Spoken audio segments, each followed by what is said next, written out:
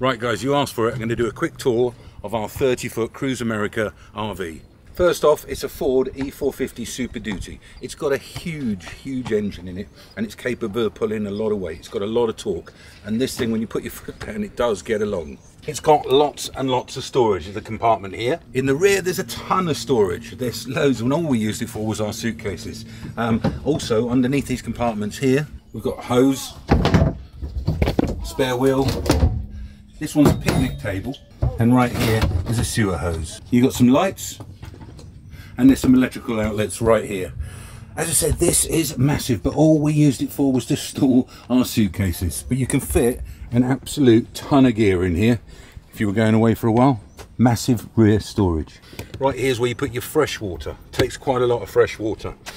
That big engine is not diesel, it's unleaded fuel only, and that takes quite a bit of that too. In here is your shoreline, and there's a nice long cable in there but if you want to run your generator which has got an onboard generator I'll show you in a second you need to be plugging that shoreline into this outlet right here. In here is your sewer outlet which takes care of your black and your grey water and we also have another hose just there. And here is your generator. And if you run the generator it uses the gas from the tank but they charge you $3.50 per hour of running the generator and that will come out of your deposit. Okay up in the cab here. Um, an interesting place to be. I kind of like driving this. It's got very very soft suspension so it really rocks round corners and stuff like you can't be going fast round corners. Um, and it's wallowy but it really takes all the bumps out of the ride so I kind of like it. I'm not sure there kind of like it. The stereo absolute pants the stereo. But there we are we've hardly used it. It's got a radio on it. Um, got cruise control now. I've used cruise control most of the time on these big american roads. It's perfect for it absolutely perfect. Um, there's a couple of usbs up front. There's even a usb-c up front but you've got in-cab air conditioning which is a must when you're in florida coming out of the cab into the main living area now during the day this is a dinette and sofa there are four seat belts around the dinette table and they're all lap belts and a further three on the sofa there as well. All lap belts are not three point, but that's, it's fine, it's going slow, it's good. Um, at night this turns into a small double. It's kind of perfect for our 10 year old, he's very comfortable on here. This pulls out into a double bed. It is actually quite easy. Now our 17 year old has found it quite lumpy to sleep on it as a one person bed. So he's preferred just leaving it as a sofa and sleeping just on this section. During the day we store all the extra bedding up here and then at night, this is where our 15 year old Harry sleeps. This is George who's in there now. And our Christmas tree's up there. yes, our inflatable Christmas tree there. We use it as a storage for all things. Um, it's a big bed you could probably sleep five kids up there if you really wanted to. Um, we've got a 15 year old up there.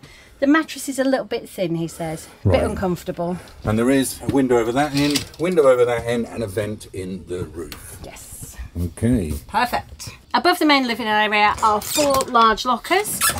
Each of our boys have one, and we've used one for food storage there's also a slim cupboard above the door as well. Next up is the kitchen. We've got a three burner gas hob, a microwave, which obviously we use as a bread bin most often.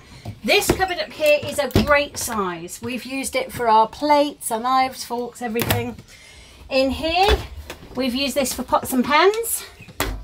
This one is cleaning products and barbecue briquettes.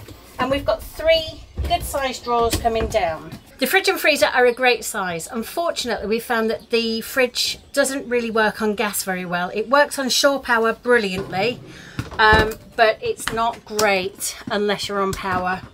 The freezer's a great size too.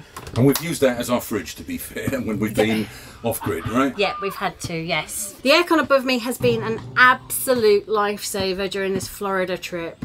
Um, it works really nicely when we're on electric, on, on shore power. Um, and it also works when we're on generator too. Right, here's your main control panel. Here is your water pump on and off, and this here will show you how charged the batteries are.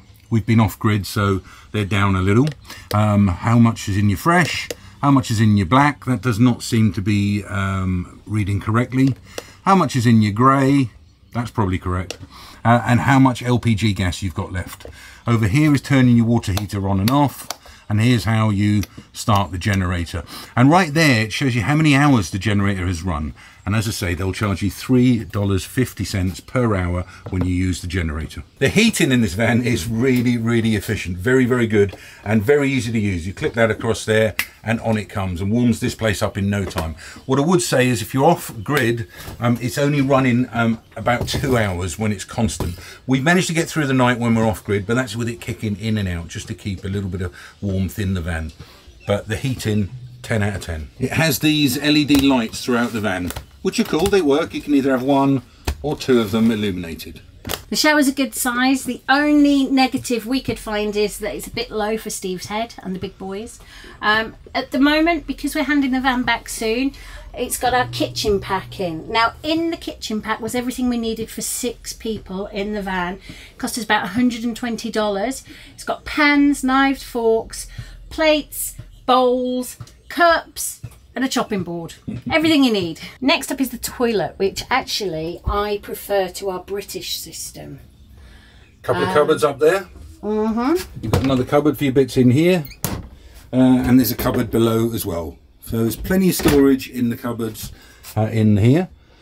The toilet is a system where you use a hose to empty out the tank. And I think I prefer that myself. Steve Okay. doesn't because he empties it. but it's a it's a nicer flush to the toilet.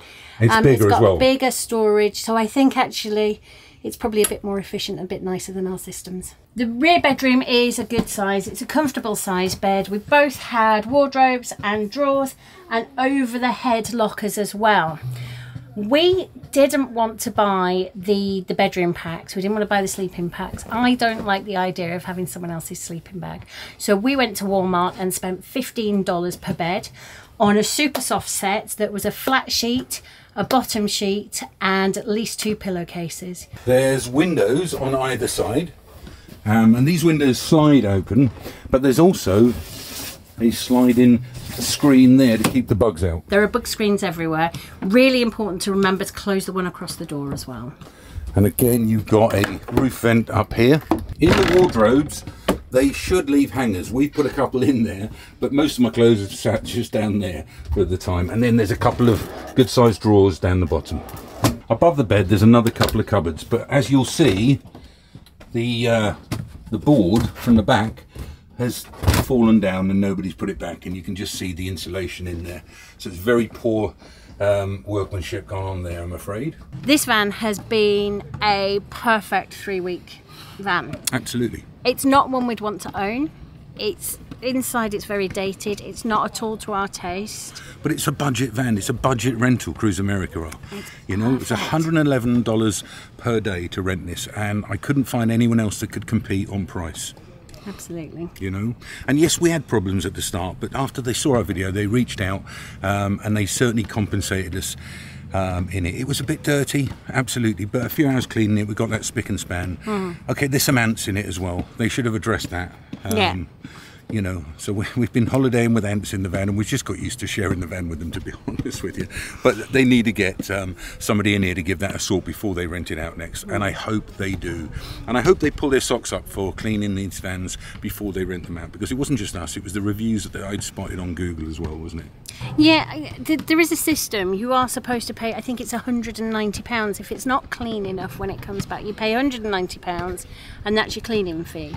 right Um, they, they either, in fact, when we arrived to collect it, another man just dropped his keys. They didn't even go around the van with him, so hmm. there was no check-in. No, it was just taken on trust that it was good enough. absolutely So we'll see what happens tomorrow when we hand it back. Yes, we will. Would we rent from Cruise America again? Yeah, we would. Absolutely, we would. Um, you know, we had we've had them in the past, and it was absolutely fine. It was just this one bad apple that didn't let this out in the condition it should have been. So yes, we do recommend if you're after a budget RV rental in the US, give Cruise America a call.